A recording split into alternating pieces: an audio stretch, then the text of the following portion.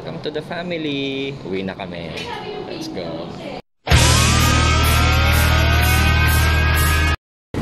Morning Cavite! Morning mga kalamyerda!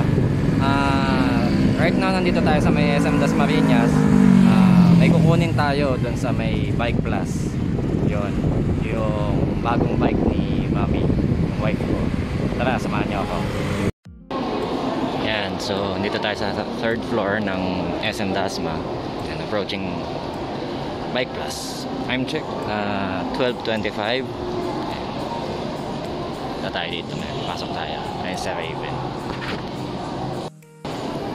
And uh, so far ngayon, ito yung hina-highlight nila yung Merida na 2018 140 800. Ayan. Tapos Ayan, Sir Mark. Sir Mark, good afternoon. Ayan, si Miss Manilin ng Bike Plus SM Dasma. Hindi lang kita ng bike ha. Para magi.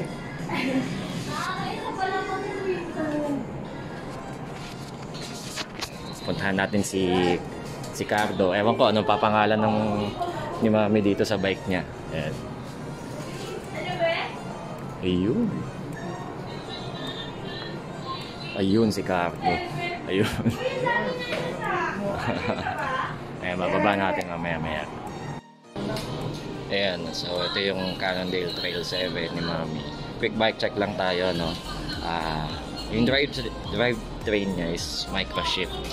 Ah, 2 by ah 8 speed siya. Ayan. Um 32 to sir, no? 32T. Yung... Itong chainring niya. Ay, hindi, 30.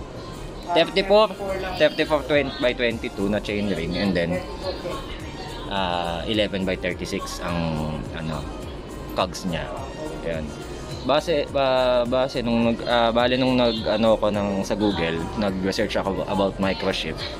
Ah, US brand siya and then yun tingin ko ah, base dun sa mga nabasa ko okay naman siya kung regarding kung ibabangga mo siya against Shimano and SRAM. Ayun. Tapos yun, ah naka-Tektro hydraulic brakes na rin. Tapos, um, ano to? Ah, XCT. Suntour XCT.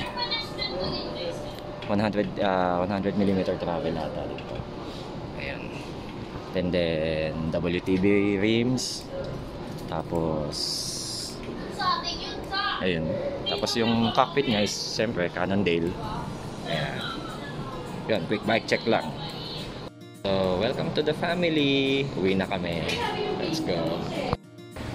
Yun, so, ah, first day ride ni Mami with, with Conan. Ayan.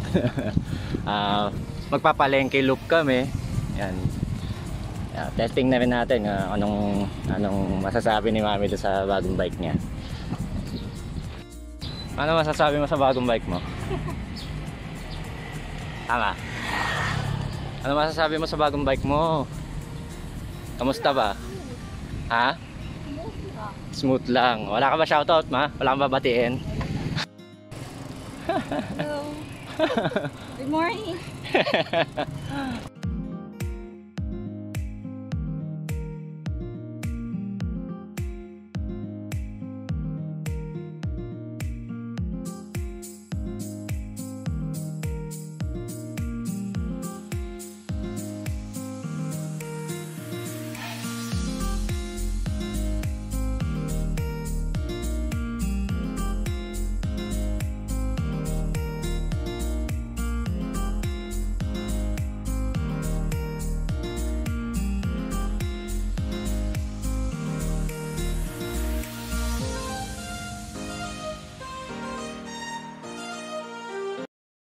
Yon, ah, bago ko makalimutan, ah, shoutout nga rin pala sa mga pinsang ko.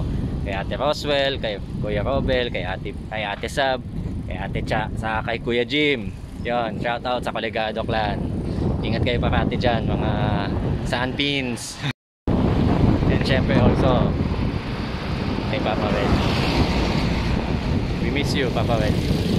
Ah, nasaan ka man ngayon. Alam naman namin na nandiyan ka naman. Uh, kasama ka ni Lord.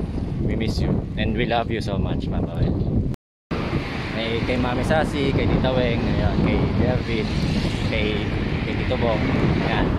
Kay G-Boy. Ingat kayong lahat dyan. Ayun, so share ko na rin ano. ah pagka may kasama kayong newbie, lalo-lalo na kung ah, ah, female biker. Ayan. Para doon sa mga couples or doon sa mga mga magkakaibigan na may mga kasama na bago pa lang din nagbabike. Ito yung way paano na sila i-guide. Unang-una sa lahat, kung kayo marunong na kayo magbike, ang diskarte dito, ah lagi nyo silang pauunahin. Sila ang laging nasa unahan. And tapos, kayo, pagka ano, dito kayo bab, ah, pepesto banda sa may ah, left side. Pero sa likuran pa rin kayo. Ayun. Para protection lang. Para against sa mga, alam nyo na, minsan, hindi maiwasan, mapipinahan tayo. Lalo na pagka masisikip yung kalsada. Yan. Ayun, kasi syempre, ah, lahat naman tayo nagkaroon ng ano eh. Lahat naman tayo dumaan dun sa sa takot na na dumaan sa mga kalsada, sa highway. 'Yon.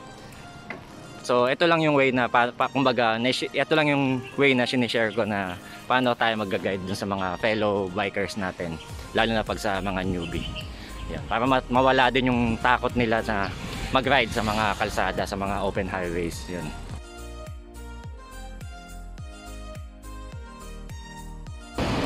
Yan, so dito ko na tinatapos yung mixing ah, vlog natin. Sana nagustuhan nyo. Ah, please like, comment, and subscribe na rin, lalo na dun sa mga bago dito sa channel. And share nyo na rin, mas maganda po. Maraming pong salamat. Yon, again, this is your Kuya Jed, and you've just watched, ah, mali. Again, this is your Kuya Jed and Ate Marie, and you've just watched The La Chronicles. Stay safe, and God bless us all. Thank you.